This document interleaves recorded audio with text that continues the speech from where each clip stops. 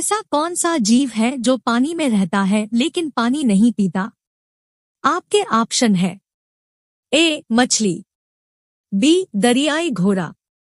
सी, मेंढक। D, whale. उत्तर comment करें। आपका सही जवाब होगा सी, मेंढक।